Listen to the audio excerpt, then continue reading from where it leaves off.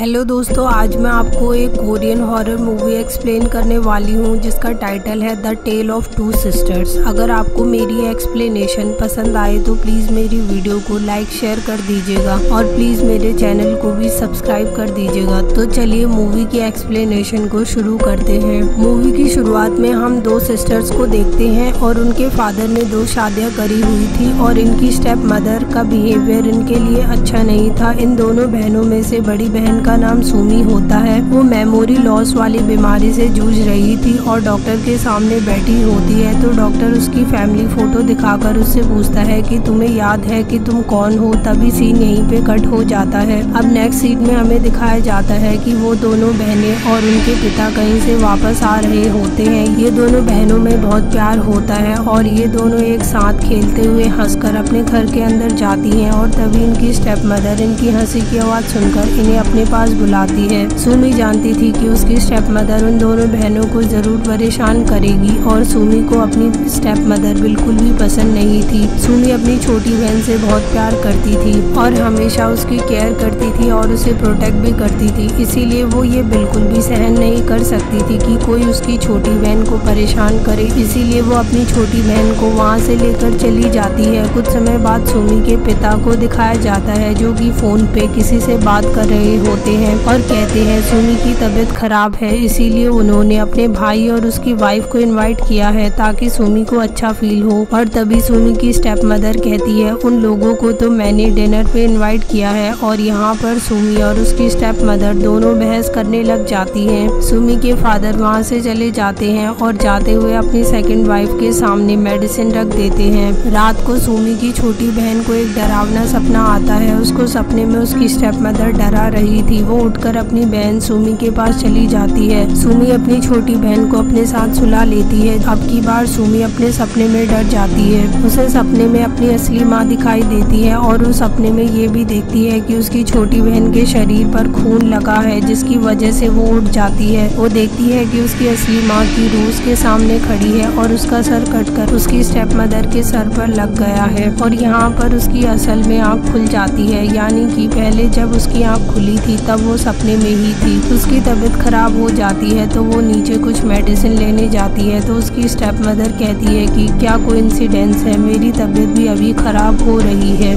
सुमी को वहाँ पर अपनी मदर का बॉक्स मिलता है। उसमें उनकी फैमिली पिक्चर होती है और हमें यहाँ पे पता चलता है कि सुमी की असली मदर की डेथ हो चुकी होती है और वो अक्सर बीमार रहा करती थी। इसीलिए इनके पिता ने उनके लिए एक नर्स को रखा था और वो नर्स और कोई नहीं, बल्कि सुमी की स्टेप मदर होती है। ये देखकर सोनी को बहुत गुस्सा आता है। तभी वहाँ पर उसकी छोटी बहन आ जाती है। उसे गुस्सा करने से मना करती है। उसके हाथ में किसी चोट का निशान होता है। तभी सुमी उससे कहती है, ये चोट तुम्हें कहाँ से लगी? सुमी को लगता है उसकी स्टेप मदर ने वो सब किया होगा। रात को सुमी के अंकल और आंट डिनर पे आते हैं। सुमी की स्टेप मदर उसकी आंट से अजीब सा मज़ाक करती है, जिस वजह से उसकी आंट को अजीब सा फील होता है और उसकी तबीयत खराब हो जाती है, जिस कारण वो लोग वहाँ से चले जाते हैं और रास्ते में सोमी की आंट अपने हस्बैंड को बोलती है, वहाँ किसी का साया है और मैंने किसी बच्ची की रूह को देखा है। अब सुमी की स्टेप मदर को घर में नेगेटिव वाइब्स आती हैं, वो जैसे ही नीचे गिरी हुई पिन को उठाती है तो उसके हाथ को कोई पकड़ लेता है, वो चिल्लाती है और डर जाती है और फिर हमें ग्रीन कलर के कपड़ों में कोई लड़की दिखाई देती है और ये सारी बातें सोमी की स्टेप मदर सुमी के पिता को बताती है, लेकिन वो उन बातों पर ज़्यादा ध्यान नहीं देते फिर सुमी के फादर उसके पास जाते हैं और पूछते हैं, घर में क्या चल रहा है? लेकिन सुमी अपने फादर को कुछ नहीं बताती।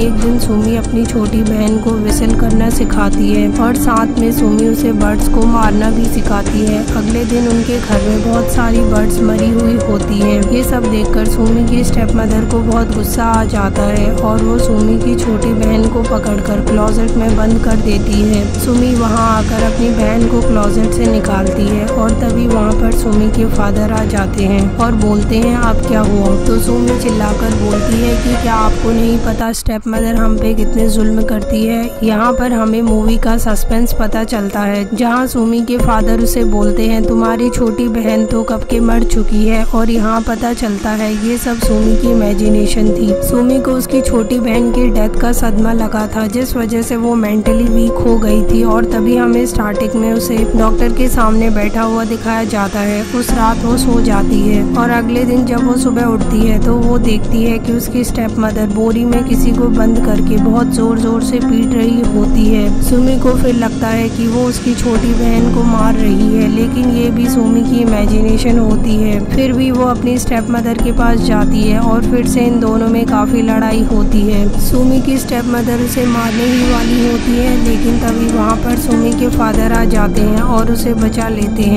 और उसे सोफे पर बैठा देते हैं और यहाँ पर हम देखते हैं सोमी की जगह उसकी स्टेप मदर होती है और उसके फादर उसे सुमी सुमी बोल रहे होते हैं और कहते हैं, मैंने हॉस्पिटल में तुम्हारे लिए बात कर ली है और दूसरी तरफ़ से स्टेप मदर की शक्ल की कोई औरत आ रही होती है और जब कैमरा मूव करता है तो हम देखते हैं सोफे पर जो बैठी है वो सोमी है और फादर सोमी से ही बात कर रहे थे। यहाँ पर हम देखते हैं, जब ये लोग घर में आए थे तो बस दो लोग थे थे एक सुमी और दूसरे उसके फादर सुमी की मदर और उसकी छोटी बहन की डेथ काफ़ी समय पहले हो गई थी, जिसे वो एक्सेप्ट नहीं कर पा रही थी और उसकी कोई भी स्टेप मदर नहीं थी और उसकी स्टेप मदर का रोल वो खुद ही प्ले करती है। यानी ये सिर्फ़ और सिर्फ़ उसकी इमेजिनेशन थी। घर में जो कुछ भी हो रहा था, वो सिर्फ़ सुमी की इमेजिनेशन से ही हो रहा था। ये सब सुमी के मेंटल डिसऑर्डर की वजह से हो रहा था। फिर सुमी को हॉस्पिटल में दिखाया जाता है। दूसरी तरफ़ हम देखते हैं वो नर्स जिसे सुमी अपनी स्टेप मदर मानती थी। वो सुमी के घर चले जाती है। हॉस्पिटल में सुमी को किसी के विसल करने की आवाज़ आती है और सेम आवाज़ उस नर्स को भी आती है। फिर हमें दिखाया जाता है कि सुमी की बहन की सोल उस नर्स को मार डालती है और सुमी की आँख से खुशी का आँसू निकलता है क्योंकि वो इमेजिनेशन और रियलिटी में उस नर्स से नफरत करती थी। फिर मूवी की एंडिंग में हमें असली स्टोरी का पता चलता है, जिसमें सुमी के फादर ने उस नर्स को अपनी वाइफ की केयर के लिए रखा होता है, लेकिन इस बीच वो उसे पसंद करने लग जाते हैं सोमी और उसकी छोटी बहन। इस बात से बहुत दुखी थे और इस बात की वजह से सोमी की मदर सुसाइड कर लेती है। और जब सुमी की बहन अपनी मदर को बचाने की कोशिश करती है तो पूरी क्लोजेट उसके ऊपर गिर जाती है और उसकी डेथ हो जाती है। सुमी अपनी मदर और सिस्टर की डेथ का सदमा बर्दाश्त नहीं कर पाती और पागल हो जाती है और इसी के साथ ये मूवी यहीं पे एंड हो जाती है।